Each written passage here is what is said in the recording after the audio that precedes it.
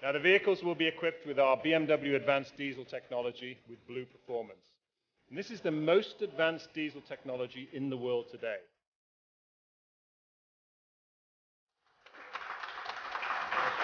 Carbon Motors Corporation is a homeland security company. Its critical mission is to develop, produce, distribute, service, and recycle the world's first and only purpose-built law enforcement patrol vehicle.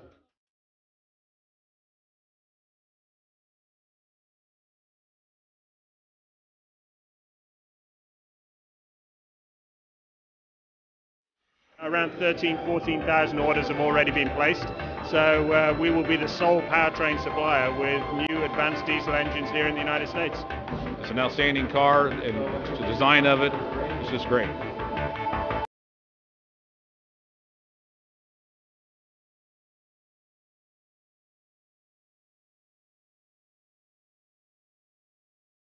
We can almost half the fuel consumption. So uh, at the same time, of course, give them a lot more power, a lot more acceleration capability, and that I think uh, gives us a particularly attractive package.